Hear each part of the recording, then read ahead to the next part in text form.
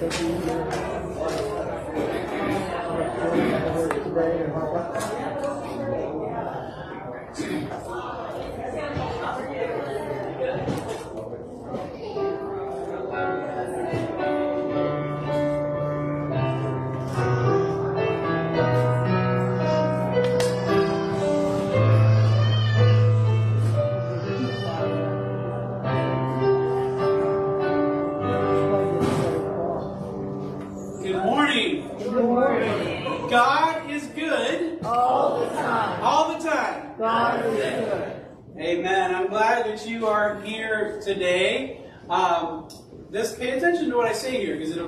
up in the sermon.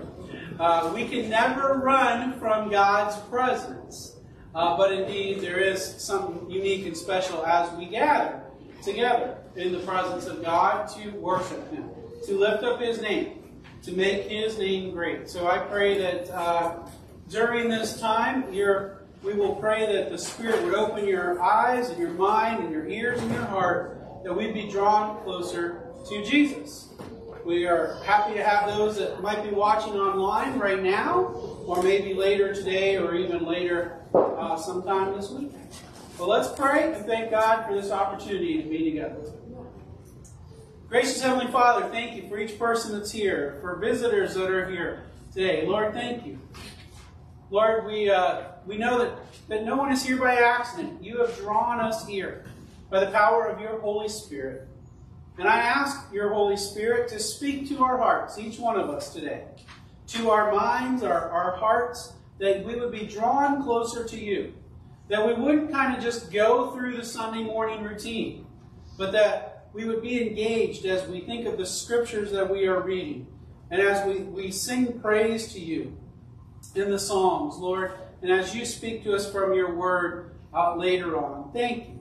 And, and, Lord, thank you that we have a time to fellowship together uh, following this and have lunch together and, and enjoy being your children in celebration of our Heavenly Father because of the life, death, and resurrection of Jesus. Thank you that we have the technology to broadcast it to those that maybe can't be here, and we pray that all of that would work well and strong and consistently throughout the service. We love you, Lord. We need you. We give you this time. In Jesus' holy name we pray. Amen. I invite you to stand. Don's going to lead us in the call to worship. It is Psalm 95, verses 1 through 7a. Let's stand and be called to worship by God's word.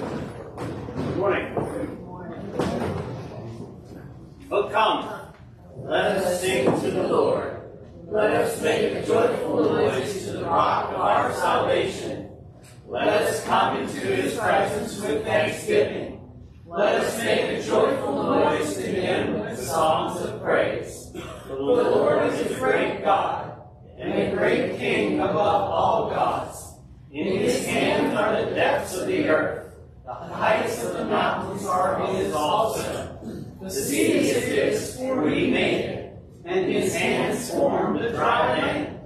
Oh, come, let us worship and bow down. Let us kneel before the Lord, our Maker. For he is our God, and we are the people of his pasture, and the sheep of his hand.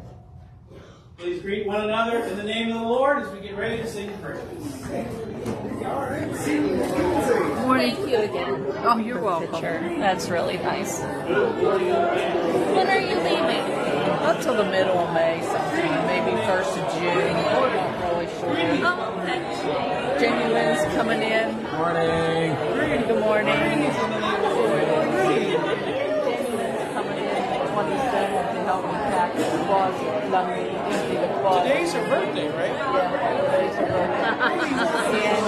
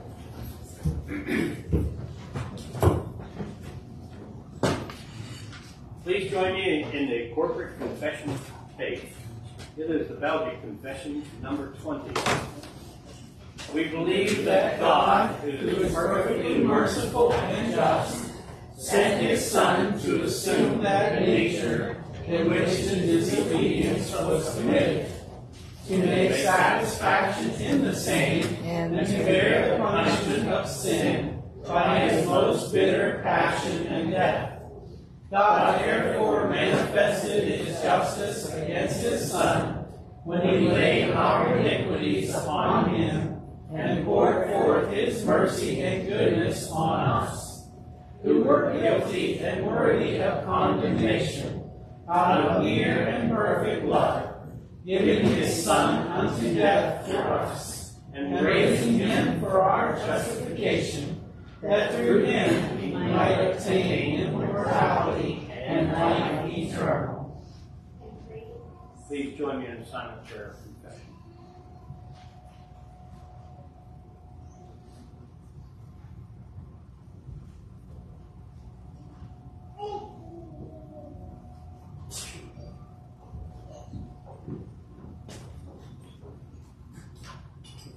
Believers in Christ, hear this good news.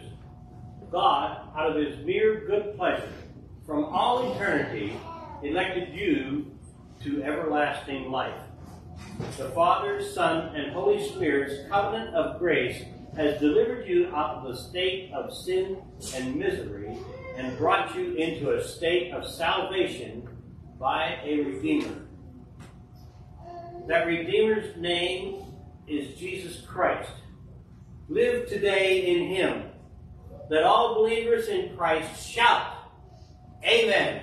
Amen. Amen. You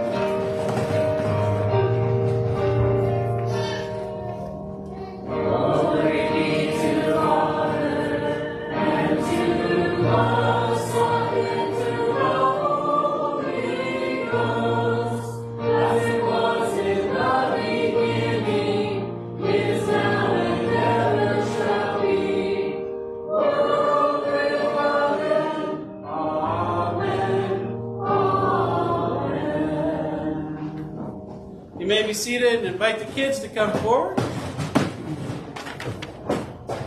Actually, you guys, well, go ahead and sit down. Go ahead and sit down.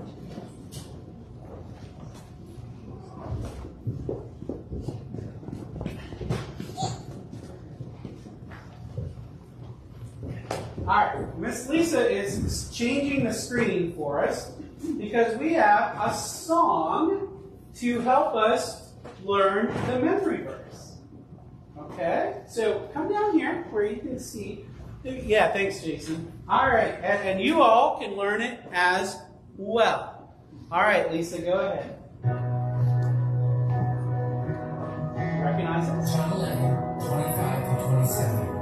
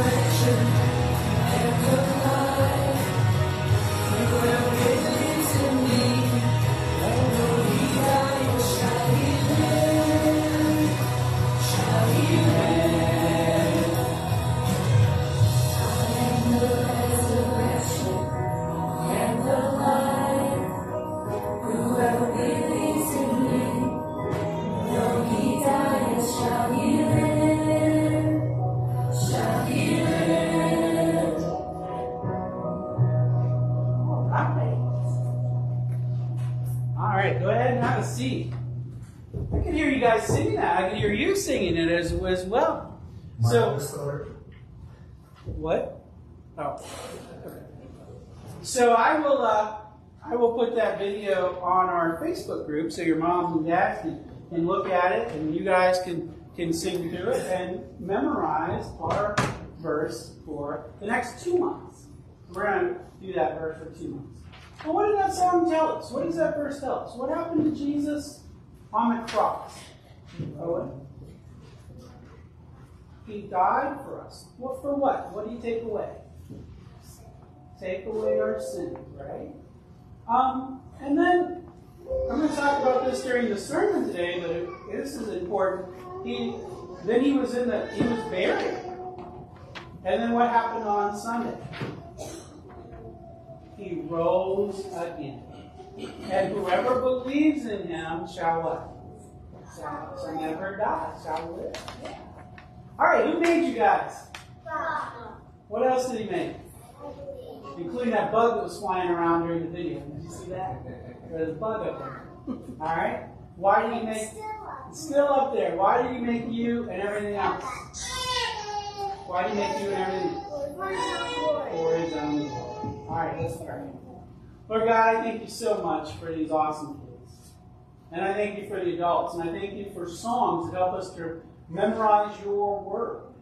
I pray that they would hide your word in their hearts so that they can guard their hearts because it is the wellspring of life.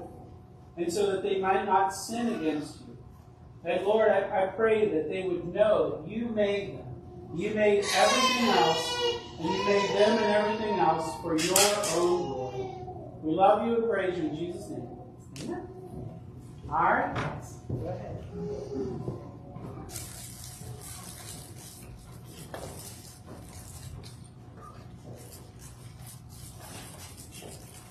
Can you all hear me okay? All right. This is the point where I tell you to talk amongst yourselves because I forgot my notes. and I don't have it all here. All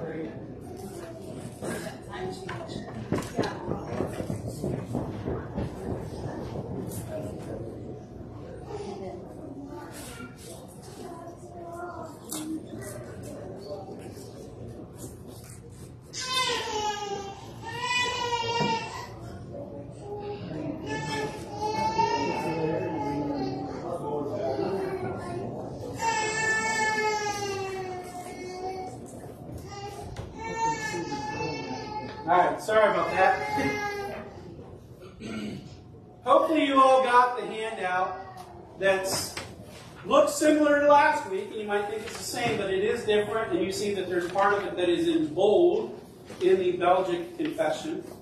But if you turn to the back, what we're going to focus on today is uh, the scripture verses. So before we do that, let's go to the Lord in prayer today.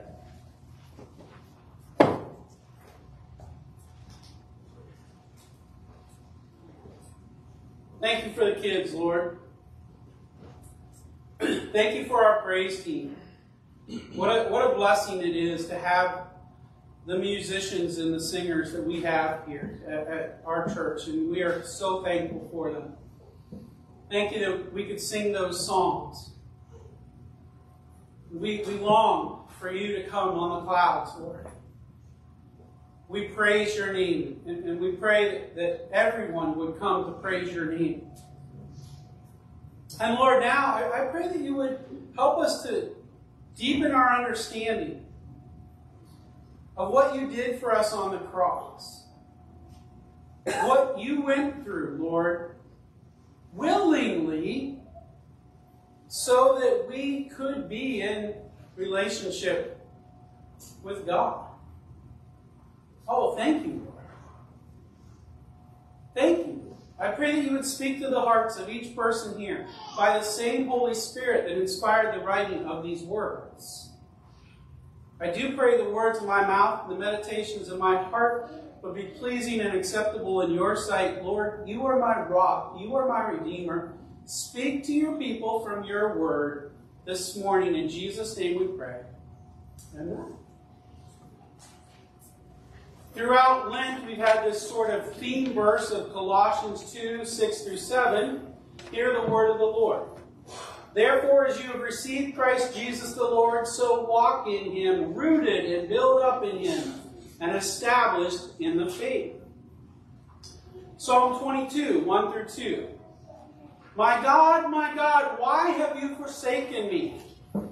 Why are you so far from saving me from the words of my groaning? Oh my God, I cry by day, but you do not answer, and by night, but I find no rest. Matthew 27 45 through 50. Now from the sixth hour there was darkness all over the land until the ninth hour. And about the ninth hour Jesus cried out with a loud voice, saying, Eli, Eli, lama sabachthani. That is, my God, my God, why have you forsaken me?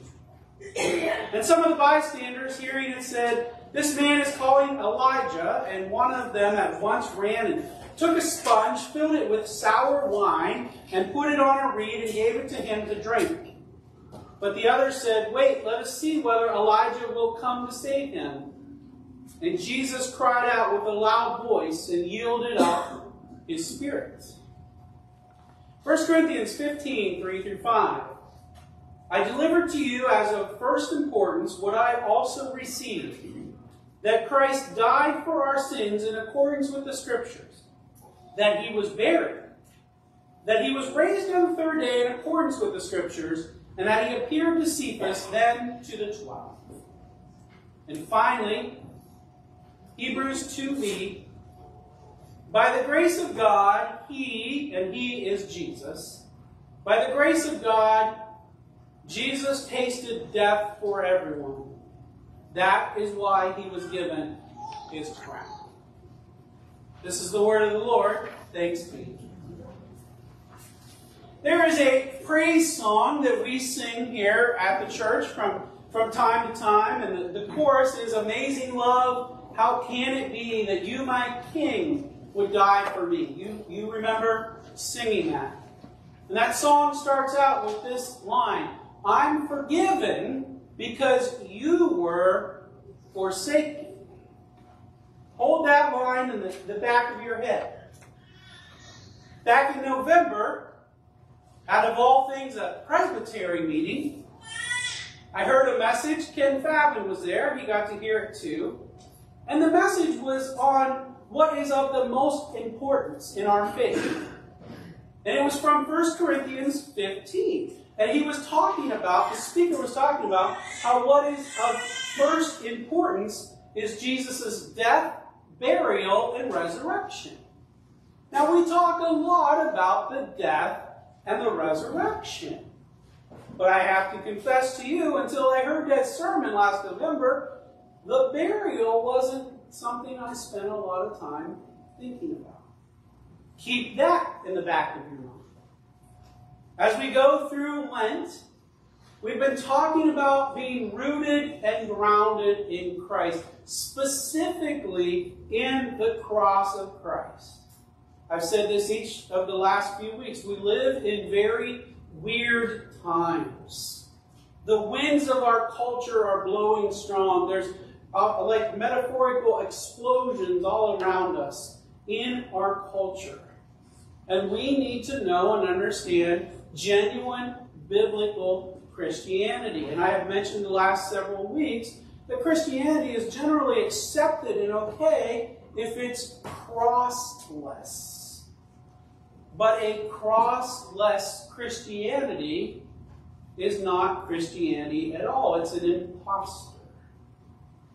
We've been looking at statements from an old confession, the Belgic Confession, and then we've been looking at the scriptures that are underneath those statements in the Belgic Confession, specifically chapters or articles, as they're called back then, 20 through 23. Today's focus on your front of your paper is these phrases in bold that you'll find from the Belgian Confession. Suffered the just for the unjust, as well in his body as in his soul. feeling the terrible punishment which our sins had merited. He called out, My God, my God, why hast thou forsaken me, and hast suffered all this for the remission of our sins? So, with that statement in mind, with the line from our praise song, I'm forgiven because you were forsaken, and thinking about this idea of Jesus' burial, today I pray that you and I will be grounded in this truth. Jesus willingly experienced desertion from God when he died on the cross and experienced death so we might know God now and forever. In response, may we live each moment in joyful thanksgiving. I want to talk first about what happened on the cross when Jesus is deserted by the Father. The scripture tells us that Jesus was constantly in communion with the Heavenly Father. Jesus said it himself. I and the Father are one. That's John 10 30. Also in the Gospel of John, chapter 5, we read about Jesus saying, I can do only what I see the Father doing. In John 14, I can only do what the Father tells me to do. We see Jesus in the Scriptures in communion with the Heavenly Father. He is affirmed and encouraged at his baptism. This is my son that I love, the voice says. At what is called the transfiguration, that same voice, this is my son. That is the reason, this constant communion with God, that is the reason why Jesus is the perfect sacrificial lamb. He is without sin. And without sin, he can be connected to the Father.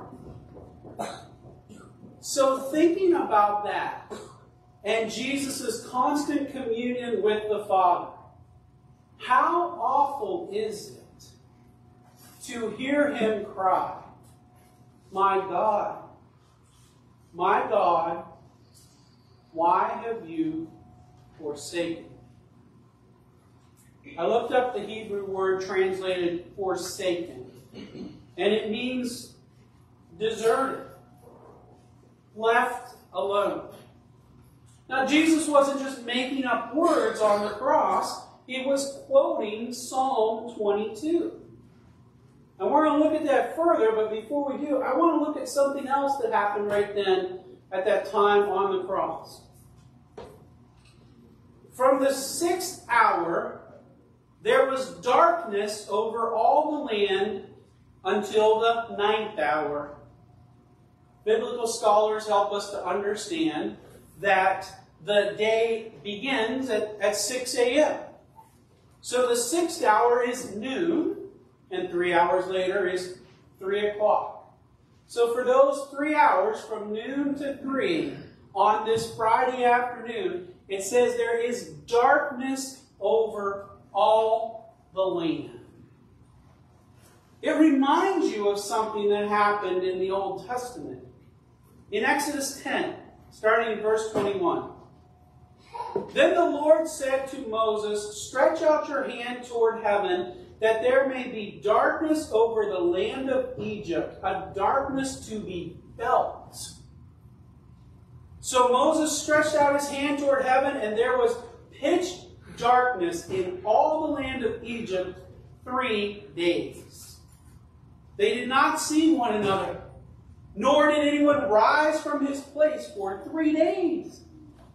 But all the people of Israel had light where they lived.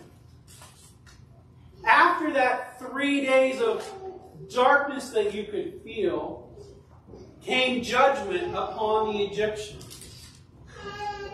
But those that were covered by the blood of a lamb were secure. The death started at midnight. Here on Golgotha, three hours, not three days, of darkness starts at midday.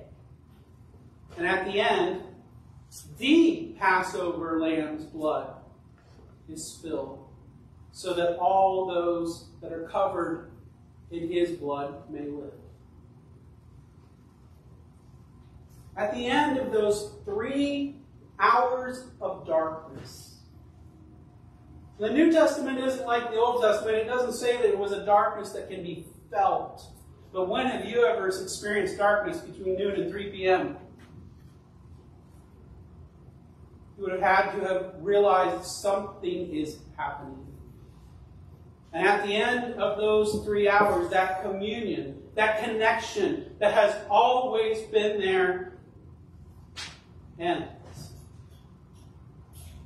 Now, we can't fully understand this. Because if you're thinking about this, you're, well, wait, wait a minute. Jesus never ceased to be God when he was on the cross? There is a mystery here we'll never fully understand.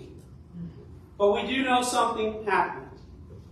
Another praise song we sing says it this way How great the pain of searing loss! The Father turns his face away. Jesus is on the cross, and there is no voice encouraging him. This is my son.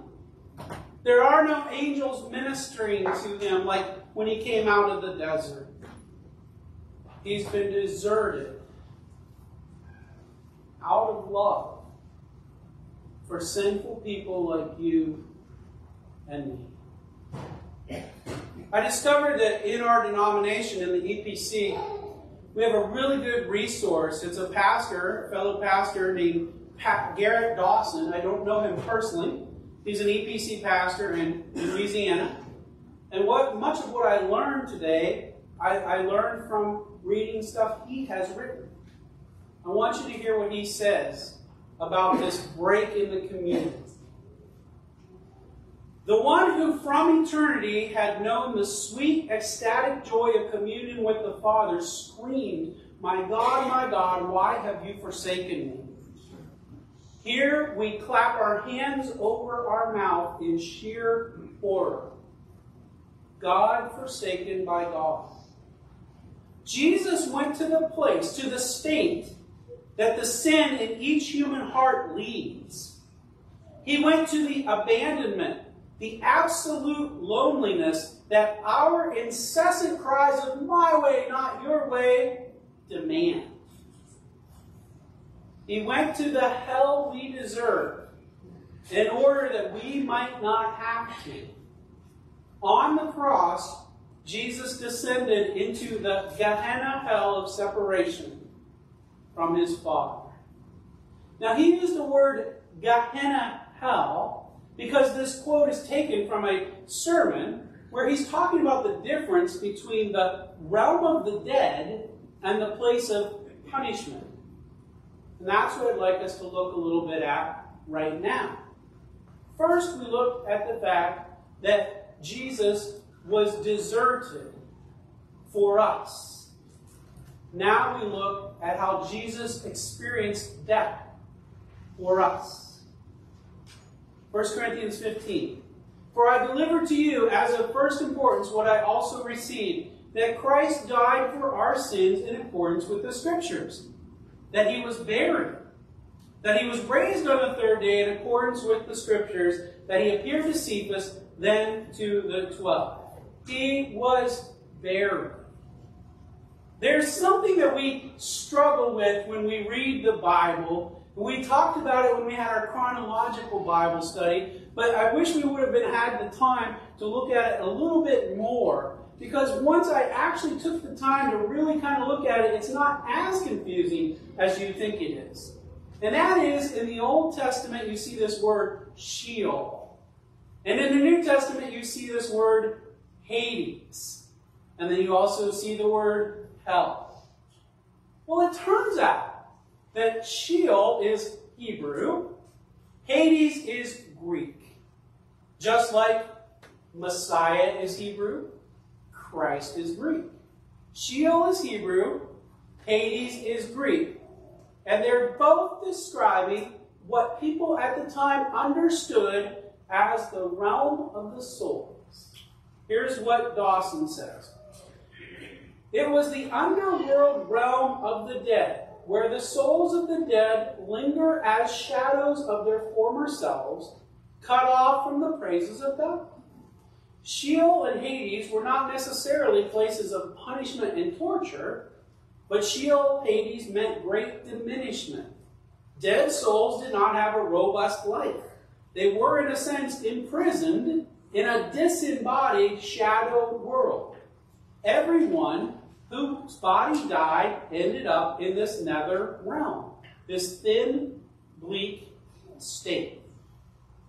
Now, just for fun, in the past, in English, both words were translated as hell, as was a third Greek word, Gehenna. Gehenna is the place of punishment for the condemned. And then we have that fun statement in the Apostles' Creed He descended into hell, which actually comes from the Latin ad inferna, which also means realm of the souls. So here's what is true Jesus dies. His body is laid in that brand new tomb that's never been used. His soul goes to the realm of the dead. He descended into hell. Now keep in mind, we already said that on the cross, he experienced the Gehenna hell. He experienced the, the punishment, the separation. I'm forgiven because he was forsaken. He was deserted. So then on Saturday, when he's buried, he tasted, or a better way to say it would be experienced, what every one of us will experience death. By the grace of God, Jesus tasted death for everyone. This is why he was given his crown. Now, I want to tell you something I learned. Jesus going to the realm of the dead, his being buried, is really good news. It's really good news because of what I said at the beginning of the service. Almost every Sunday I say, there is nowhere we can go that we can hide from his presence. I take that from Psalm 139, verses 7 and 8. Jesus fulfilled that. Here's what it says Where shall I go from your spirit? Or where shall I flee from your presence? If I ascend to heaven, you are there. If I make my bed in Sheol, you are there. He has been there. And listen to what Dawson writes about it. Jesus descended into death. He made all that darkness his own. Death captured Jesus as he entered it fully. But then, in the great reversal, Jesus captured death. In his rising, Christ filled that darkness with the light of his presence. He dispelled that gloom forever for those who trust him. So that when we consider the crossing into of death, we can now hold fast to the truth. Even darkness is not dark to you. Just as Jesus took our sins, so he has taken all our lonely dying as his own. Jesus tasted death. He defeated death. I never realized before that we take the whole weekend as a boxed set. Friday, the sacrifice, the being separated from the communion that we deserve. Saturday, being buried, experiencing that, and then defeating it on Sunday, rising again. Wow. It's incredible. You might say, so what? The skeptic, uh, and maybe us at times, we tempted to say, ah, Jesus' death was, that was just a result of tragic circumstances. And certainly it was. There were some tragic circumstances. There were some very unfair things. There were some very unjust things. Don't ever forget what Jesus said in John 10, verses 17 and 18. For this reason the Father loves me, because I lay down my life that I may take it up again. No one takes it from me, but I lay it down of my own accord. I have authority to lay it down. I have authority to take it up again. This charge I have received from my Father. Jesus is often called the second Adam. The first Adam was asked to trust. Do whatever you want in this place. Just trust me on this. Don't eat from that one tree. And Adam said, No, I'm not going to trust that. I'm going to do things my way. The second Adam was actually tempted to do things his way. Save yourself, Jesus. If you're the Christ, save yourself. Come off that cross. The second Adam trusted God. My last quote from Gerrit Dawson. In the paradise of Eden, Adam could not offer the little faithfulness of not eating the fruit. But at the place of the skull, on the rack of the cross, with no trace of his father's presence to be felt, with no expectation of a reply, Jesus prayed, Father, into your hands I commit my spirit. Jesus, the second Adam, trusted God. I read you verses 1 and 2 of Psalm 22. My God, my God, why have you forsaken me? Why are you so far from saving me? From the words of my groaning. Oh my God, I cry by day, but you do not answer, and by night, but I find no rest. Now here verses 3 through 5. Yet, you are holy, enthroned on the praises of Israel. In you our fathers trusted. They trusted, and you delivered them. To you they cried and were rescued. In you they trusted and were not put to, put to shame. Jesus wasn't just quoting the first line of Psalm 22. He was pointing us to the whole psalm. And it's a psalm of pain and trust. Jesus trusted the Heavenly Father and willingly was the propitiation for our sin. We talked about that last week. Willingly experienced the punishment of hell, being separated from the one who loves him. Willingly was buried, where his soul went to the realm of the dead, and willingly defeated that realm of death and sin and the devil, so that those who trust in him may have eternal life and shall not perish. Our job, the so what, is to live in joyful thankfulness. In, all aspects of our life. In our work, in our recreation, in our education, in our leisure, in our family to be joyfully thankful for what He did for us on Friday, Saturday, and Sunday. To live thanking and praising Him. That we can know God. We can be in a relationship because of that weekend. I'll leave you with Charles Wesley's words. He left his Father's throne above, so free so infinite his grace. Emptied himself of all but love and bled for Adam's helpless race. Tis mercy all, immense and free. For oh my God, it found out me. Amazing love, how can it be that thou, my God, shouldst die for me? Jesus willingly experienced desertion from God when he died on the cross. And he experienced death so that we might know God now and forever.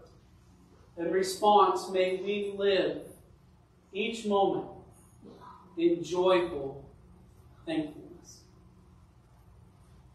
Lord God, I pray that my words are correct, that I am understanding your scriptures correctly and explaining them correctly.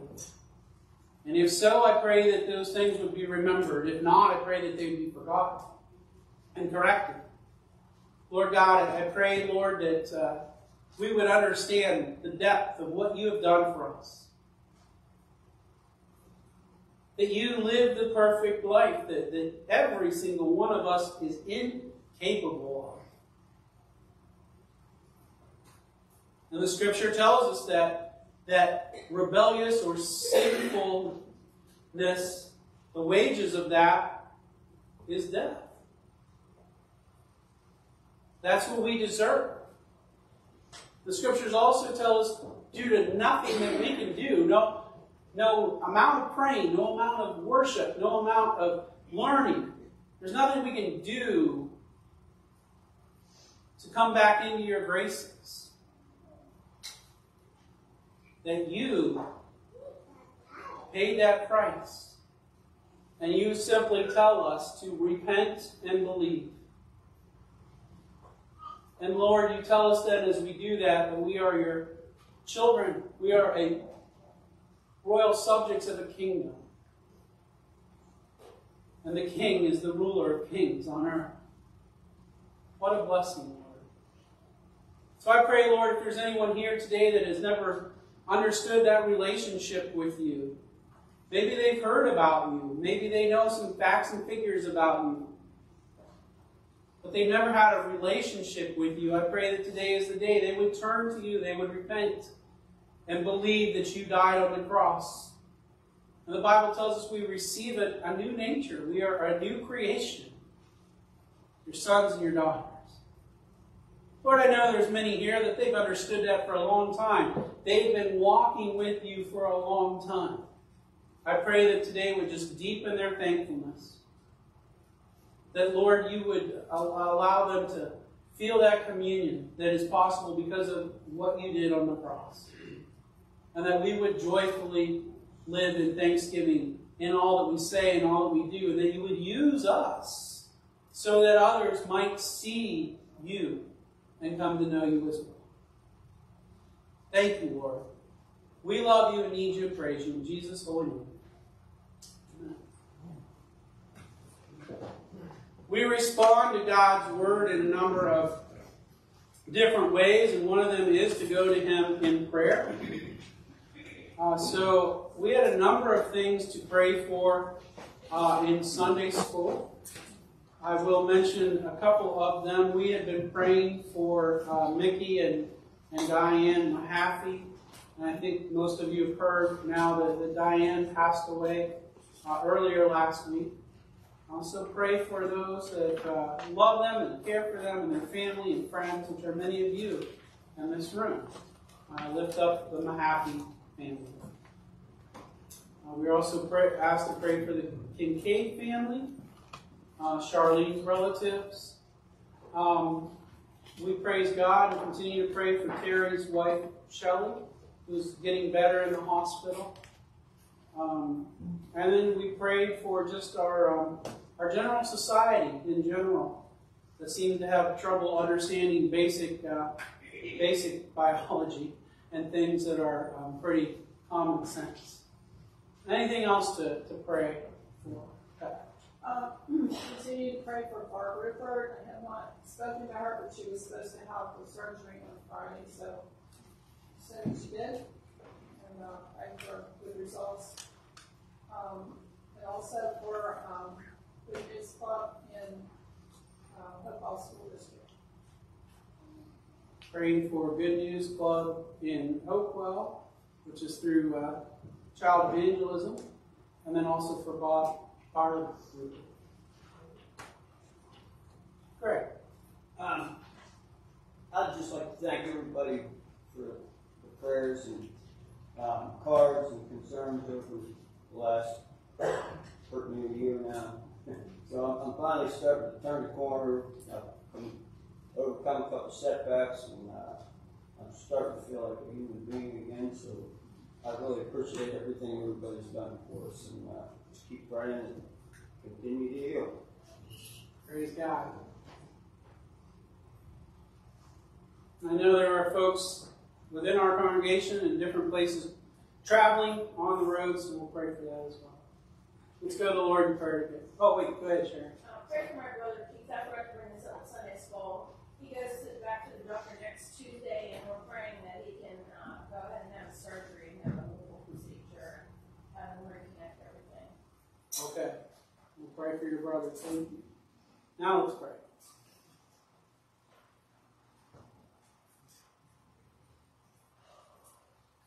You are the holy, holy, holy God.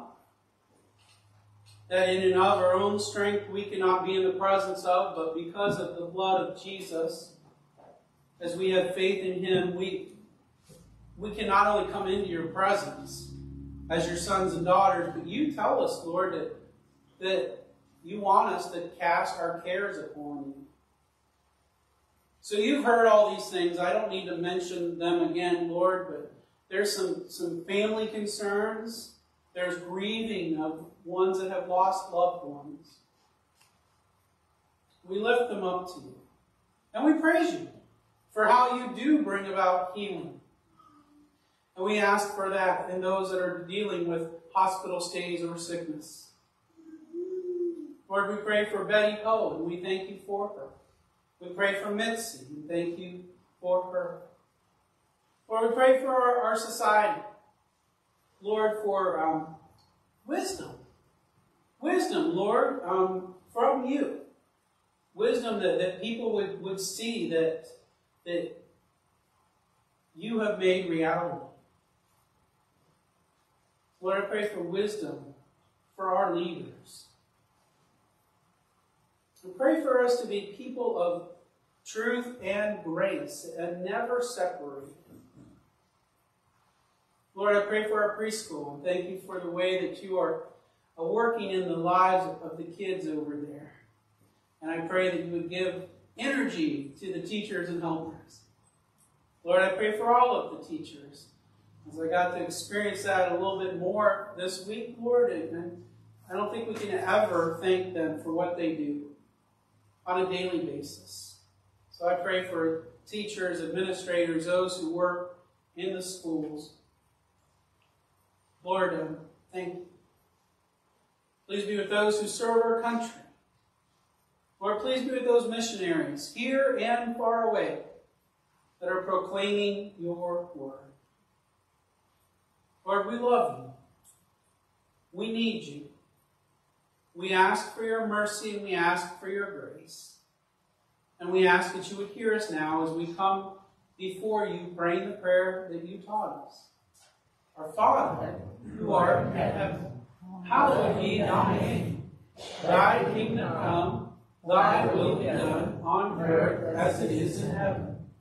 Give us this day our daily bread, and forgive us our debts, as we forgive our debtors.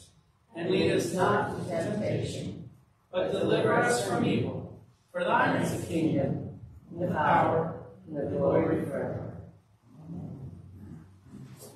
We respond to God's word by giving of our time and our abilities and the resources He's given us in the first place. So I would invite the ushers to come forward and receive the tithes and offerings given in faith.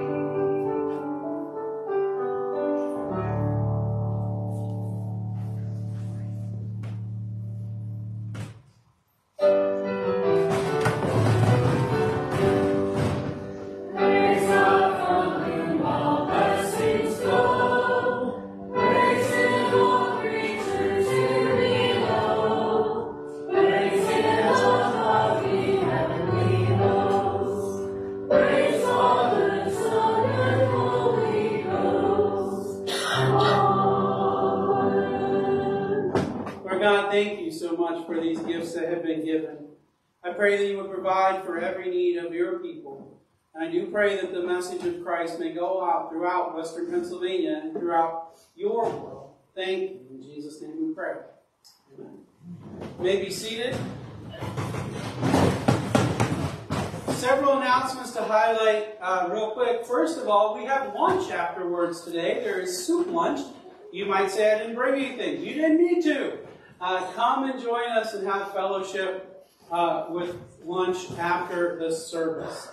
Tuesday, during our Bible study, uh, normally we tend to go to about 7 o'clock or so. We're going to end at 6.40 this week. Uh, there is a, a, meeting at the school at Southside. It's the, the committee that is looking into this issue of pronoun use at the school and that whole policy. And uh, they have different topics. This particular one is on the Bible, and the public is welcome. And I'd like to go, and I know some others would like to go. And that starts at 7 at the, uh, cafe, the um, library, I believe, of the high school. So uh, we'll end at 6.40 uh, on, on Tuesday night. Start at 5 o'clock. Um, those of you that are helping with Kids Club, 2.30 at, at Mill Creek. Next Sunday is our service at the Lakeview Nursing Home at 3 o'clock. You're all welcome. That is an amazing time. Um, I'm going to put my wife on the spot because she could use your help on a um, thing called a real life fair. So you want to tell them about that?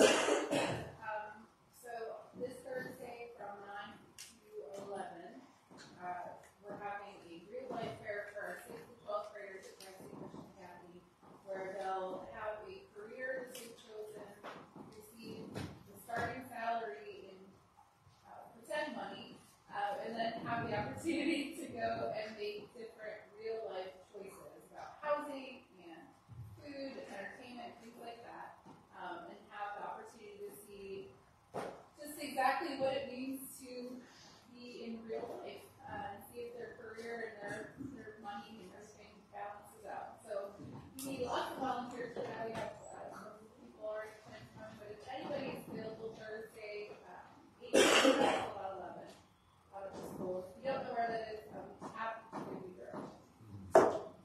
All right. Um, Ken wants to tell you about something exciting that we're looking forward to in the next couple weeks. Yeah. You know, we know things are really screwed up now with the school and pronouns, and one of our goals is to do outreach. That's what we should be doing as a church. So a group of us met a couple weeks ago. Uh, Ian and Danielle, Dana, uh, Jason Smith, Jefferson, Cindy Caseta, the preschool teacher, and Michelle and me to see what could we do to maybe get to the youth, approach them at a young age to kind of bring them more into the church.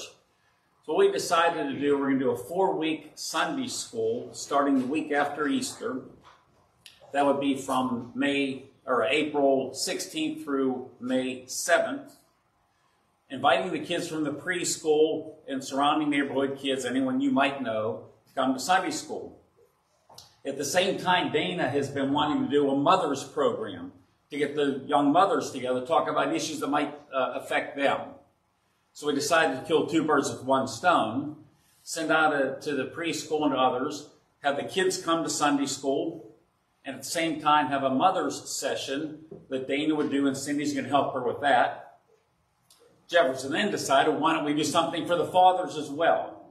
So we're inviting the whole family for a special session during Sunday school. We thought it'd be too intimidating for the adults to come into our Sunday school because we all sort of know each other. That's why we wanted to do this separately for them, to get them engaged. Uh, Danielle made a nice survey, three questions to send out to the preschool, asking them if they're interested and what mothers might want to talk about and the fathers might want to talk about. We're going to send it to other families in the church. And if you know of anyone that might be interested as well, we'd like to send it to them and get this kicked off. So we're excited about it. So far, the survey went out Thursday. We've had four responses. Three said no, that's fine. One family said yes. So we're hoping that this will get a little bit of energy and, and get started here. we're also having preschool Sunday on uh, uh, Palm Sunday. The families will be dropping the kids off at 10:15, So we're going to stop Sunday school a little bit early, adult Sunday school, so we can interact with them, have a continental breakfast, and we'll explain the program to them. So those that are agreeing to come might give them positive reinforcement. Others might decide to come themselves. So hopefully we can all join and welcome them to, you know, it's intimidating to come to a church. 30 years ago, Michelle and I came here, and Don McCoy had a cup of coffee. It was, the, it was so relaxing. He was so outreach to us. And we got to remember that when other people come in. And we also had Ray Kramer. We met her in the food cupboard. we didn't need the food, we saw her there. And she was so outgoing. So it's just important to remember that when these people come in, let's be open to them and, and work with them. So we want to let you know what's happening. We're excited about it, so pray for it and hopefully we'll kick something off. And that goes for anyone that's here too, that, that has little ones. Uh, everyone, not just the preschool, everyone is invited to this. And I'm, I'm so thankful to the Lord that He's moving and, and, and bringing this up. Don. Yeah, um, because of all that activity that's happening on the first Sunday in April, we have changed our communion. Would you like to talk about that? Yeah, that's it. I I appreciate you remembering that. So yes, we are, are normally we have communion on the first Sunday of every month. You're kind of in that routine. We are actually going to change that in April, and there's going to be two opportunities. That first on Maundy, Thursday at our Maundy, Thursday service, um, where we will do the intinction, but uh, Diana is making gluten-free bread for everybody because there's a few people that need that. And so we'll all have that opportunity on Maundy, Thursday, and then Easter Sunday. Easter Sunday we'll have communion um, as well. So not on the first Sunday of the month. Thanks, Doug. All right, any other announcements? Well, let's stand. Our closing song just takes us right back to the, the focus we want to never forget